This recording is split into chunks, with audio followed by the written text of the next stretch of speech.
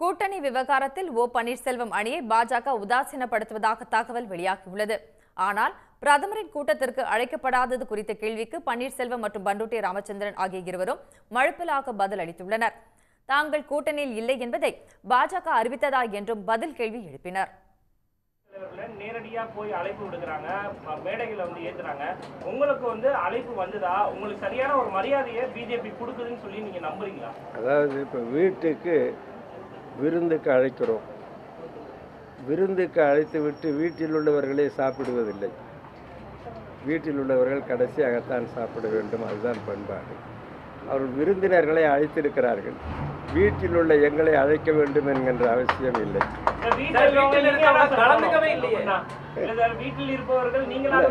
இல்லையா. அது ஏற்கனவே கழக ஒருங்கிணைப்பாளர் தெளிவுபடுத்தியிருக்கிறார். நாங்கள் அந்த கூட்டணியில் இல்லை என்று எப்பொழுது அவர்கள் சொன்னார்கள்?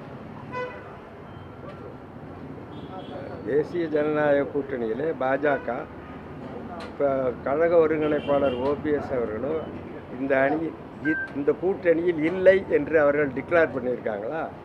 நாம விலகி கொண்டு இருக்கோம்னு சொன்னோமா இல்லை நாம விலகிட்டோம்னு சொன்னோமா ஆ, நம்மளும் விலகிட்டு அவரே சொல்லியிருக்கார் பல இடங்களில். அதனால தான் வீட்டுக்குள்ளவர் வீட்டிற்கு உள்ளே இருக்கிறவர்கள் கடைசியாக தான் மிச்சம் மீதி இருந்தால் தான் சாப்பிடணுமே தவிர வர்றவங்களை உபசரிக்கிறது தான் முதல் கடமை நாங்களும் பாரதிய ஜனதா கட்சி மாநில தலைவர்களும் மேல்மட்ட தலைவர்களும் தொடர்ந்து பேசிக் கொண்டிருக்கிறோம் இன்றைக்கும் பேசிக் கொண்டிருக்கிறோம் உடனுக்குடன் செய்திகளை தெரிந்து கொள்ள சன் நியூஸ் பெல் ஐகானை கிளிக் பண்ணுங்க.